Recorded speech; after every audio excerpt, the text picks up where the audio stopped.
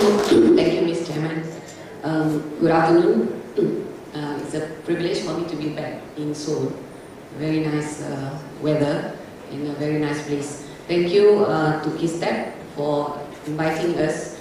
And uh, I'm representing Academy of Science Malaysia. In fact, um, we are having a public holiday tomorrow because we are celebrating our 59th year of independence in Malaysia. And I'm happy to be here to share with you um, the science outlook for the country. So this is a project done by Academy Science Malaysia.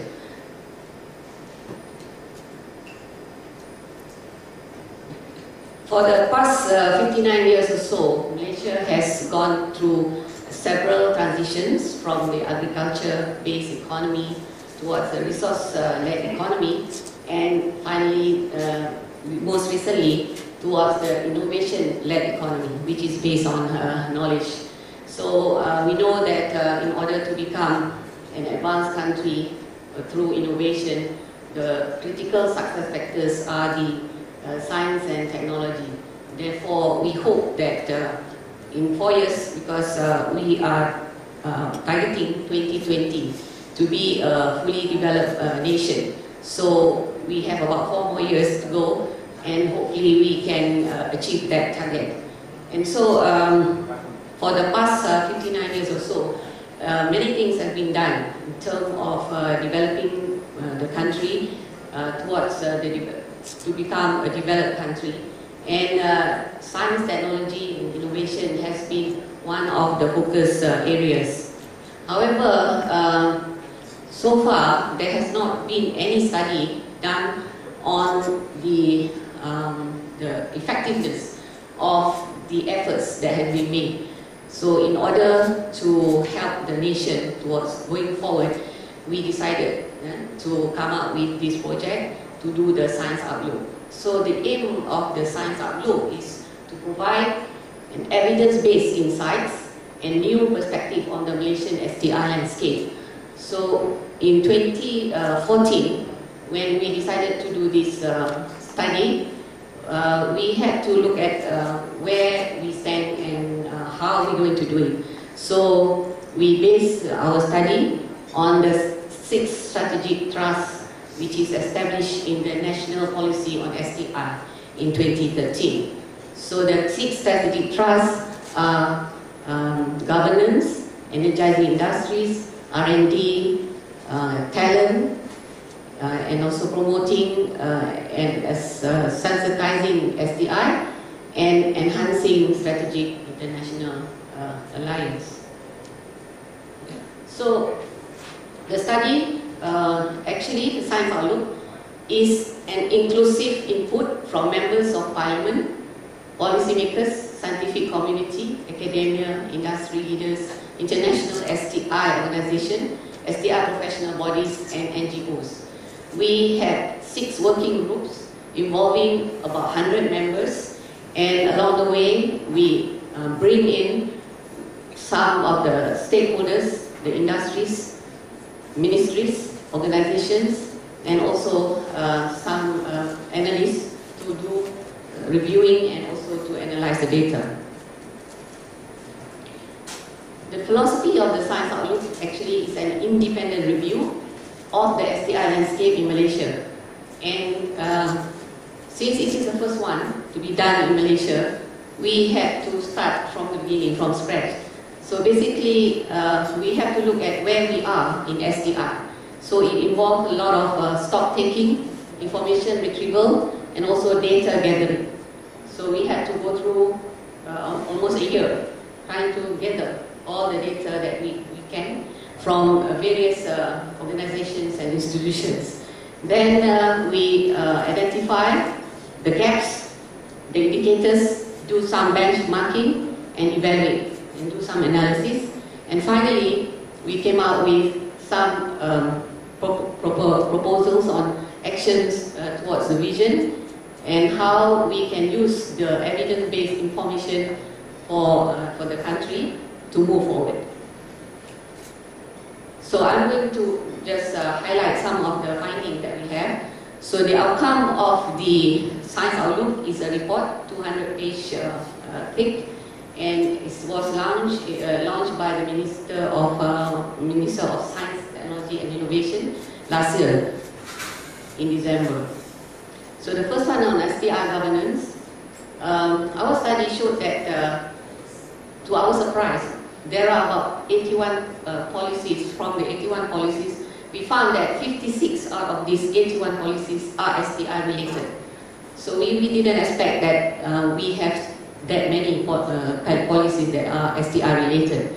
And uh, many of the um, industries and ministries and also the departments and agencies are focusing on STI uh, activities in Malaysia and uh, they have their own uh, policies. So um, when we look at it, we found that uh, they work in silos. These policies, they are independent of each other and there was no overarching master plan when it comes to implementation of the uh, national STI agenda. And many of these uh, policies are not integrated and uh, they did not uh, follow the national science technology policy. Looking at the management cycle, many of these uh, uh, activities done in Malaysia, they have a business plan and a management cycle plan, but there are uh, missing links. We found that uh, there are weak links in the STI management cycle. Benchmarking with most of the uh, countries, the advanced countries, we found that uh, Malaysia doesn't have the ideation and the monitoring and evaluation part of the uh, STI management cycle. So all these years, there's uh, a lot of STI activities have been done. There's a lot of planning, implementation, and advisory boards, but nobody look at the concept. Yeah, when you want to uh, plan for something, you have to have a, an idea, and also uh, at the end of the cycle, nobody look at monitor and look at the outcome. So there's no continuity when come to the activities done. So we need uh, planning to be hand in hand with evaluation and monitoring. And evaluation and monitoring needs to be institutionalized with accountability. So when we benchmark with most of the advanced countries, we found that uh, nations with high economic output have stable STI governance structure. For example, South Korea and most of these advanced countries, they uh, spend more than 4% of their um, high 3 to 4% for the government expenditure on R&D per GDP. So um, we have to look into this, our system and see whether uh, we are doing what, you know, as we say that we are not going to copy what we do, but uh, at least uh, try to find, uh, find out uh, what we do wrong on the way. And uh, also another aspect that we look at is based on the Hansard analysis, the current parliamentary debates in Malaysia are mostly um, into toeing the party line topical according to media and constituency centric no, um, there's no, uh, we found that the STI related uh, uh, areas and things are not being discussed in the parliament. Therefore, in order to move forward, we propose that there must be an enabling environment for effective STI governance for Malaysia. First, we have to strengthen the STI management cycle and establish a centralized STI body for the country. And we have to establish a parliamentary select committee so that uh, related issues will be discussed in the parliament. And most important, to propose the Science Act, which is long overdue. This Science Act is really needed in order to serve as an overarching master plan for a unified exhibition uh, strategy. The R&D and C uh, looking at what happened for the past 40 years or so, Malaysia aspires to be in the top 10 in the Global Competitiveness Index. And currently, uh, Malaysia is ranked 18. Yeah? And uh, we targeted uh, our GERD, the government expenditure on R&D per GDP to be 2%. But uh, what is happening now, it has been increasing over the years, and the most uh, recent one, we are spending about 1.13%. So we are still going there, yeah? not yet there.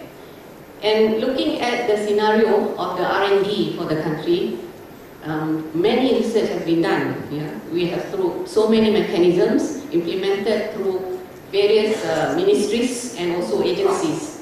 So since Malaysia is a small country and we don't have uh, many uh, talents working on R&D in science and also funds is limited, we find that the research activities are so diverse and fragmented. And so many, uh, there's no focus in terms of the priorities, in terms of the areas of research that's being done. So what happened in the past is researchers, in order to get funds, they will have to follow the policy of the government. Yeah? If they want to do applied research or they want to do basic research, depending on what is uh, needed uh, by, by the funding agency. So that's what happened. And so we have to, and there's no continuity because we find that when they finish their money, there's nobody to look into what the outcome of the R&D and there's no continuity towards the value chain for commercialization and so on. Therefore, for this uh, area, measures have to, we have to do something to build capacity and establish the socio-economic impact of Malaysian RD&C.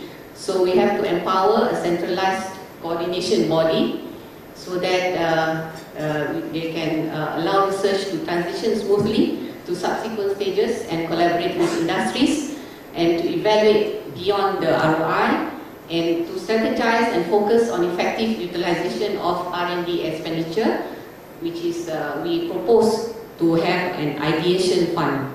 So most uh, recently the government is now looking at establishing a research, research management agency to look at the funding mechanism for the whole country for R&D. Okay, the third uh, sector is on talent. So we are asking, has, uh, does Malaysia have a pipeline of STEM talent? And will it be sufficient and competitive enough to meet the country's future human capital needs? Malaysia is a small country, basically our population is only about 30 million. And over the years, we found that um, although there is a policy in the education system to reach 60-40 science to arts students at the high school level and university level, uh, we find that from the data you see that the numbers keep on decreasing. We never reach 30%. Yeah? So there is a decline in interest in science and so contributes to the STI talent depletion. This is a serious uh, problem to our country because if we want to uh, become an advanced country, we need to have more um, workforce in the STI. Yeah? Therefore, um, in 2012, we did a roadmap STI talent and based on the development of the country, economic development of 6% a year, we project that we need at least 1 million workforce in STI from which 500,000 must be graduates from uh, STI. And uh, currently, uh, in 2012, we, the highly uh, skilled STEM workforce accounts for only 0.7% of the workforce population. And if, even if we reach 500,000 in 2020, that is only 3% of the uh, workforce. So it's very low compared to most of the advanced countries where the average uh, percentage of uh, high skilled workforce is about 30%. So we have a long way to go and we have really have to look into ways of trying to revive the interest and get more uh, young to go into science and STEM education. So the, the ministry is looking into the STEM education curriculum and we are trying to invent some provide some incentives to schools and to ministry, uh, to the universities so that the, the students will continue in uh, uh, STI fields. So for this, um, in uh, developing, harnessing and intensifying talent, so we need a strategic framework yeah, to guide human capital development in S&T services and delivery and drastic intervention measures need to be taken at each domain of the human capital value chain and a sustainable action plan for retaining STI talent, especially to fuel the high priority sectors of the economy. The fourth sector is the energizing industries. We know that uh, we need the industries to help us to move forward. And we did a study and found that uh, uh, industry awareness of STI, related policies, initiatives and incentives is quite low. Only 36% of industries are, they are aware of the uh, STP, uh, the Science, Technology, Innovation Policy in Malaysia. And um, many um, of them say that uh, they want to collaborate. Yeah? Industries existing partnership with any R&D institution uh, or universities for product innovations. Although there's a lot of incentives given to them, but many of the industries in Malaysia are trading. Yeah, they are not into inventions and new technology development. So this is one of the reasons uh, why we are not getting uh, enough support from the industries. So um, are the industries willing to undertake R&D? Yeah, from our study, about 60% of them say that they have devoted R&D and 16% say that they will increase R&D spending within five years. So there's a hope yeah, from the industry because they are willing to support the STI development. But an ecosystem that will motivate the industry to undertake more R&D and contribute significantly to the STI agenda of Malaysia. Therefore, we need to have an STI stakeholder engagement model for the STI policy implementation and collaboration that is both supply-oriented and demand-driven, foster quadruple helix uh, partnership, and aggressive and continuous information channels to disseminate the focal areas of national agenda to STI industries. STI and enculturation, um, do the Malaysians uh, like science? So overall, Malaysians have high interest in STI, but the knowledge is low. As you, see, uh, you can see that even in schools, the children, they are now moving away from uh, STEM education. So this is one of the reasons. So there's a lot of things that we need to do in order to develop interest, to promote science and STEM to the society. Malaysians' interest in STI issues is temporal, driven by current issues. There's any issues, current issues, then you'll be interested. After that, you will just die down. So, um, uh, how do we think uh, to, in order to stimulate uh, STEM yeah, among the public? So, STI enculturation plan needs to be uh, put up enable, in, in, in order to enable and sustain the process of STI enculturation in the country. So we have to have early exposure to science. In fact, the science, uh, the education system must uh, focus on science right from preschool. Yeah? Players in popularizing science, we need to have many icons in science, engage public through multiple platforms and develop science enculturation index. There's no measure of how is the perception of science from in the public right now. Strategic International Alliance, uh, we found that uh, Malaysia has made or signed quite a number of uh, STI-related treaties through bilateral and multilateral, but uh, the number of STI-related is quite low. Yeah? For example, here out of 113 bilateral agreements, only 12% is on STI. And uh, from 17, only 50, uh, from uh, 108, only 15 or 16% focus on multi, uh, on STI.